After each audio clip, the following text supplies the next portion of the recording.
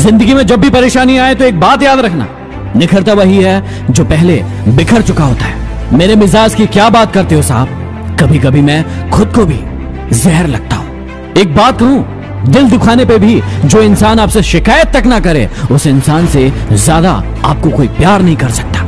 बदल जाती है किस्मत दुआ से, नहीं मायूस, मैं अपने खुदा से। एक दूसरे की गलती को भुलाकर, एक दूसरे का साथ देना ही सच्ची मोहब्बत है।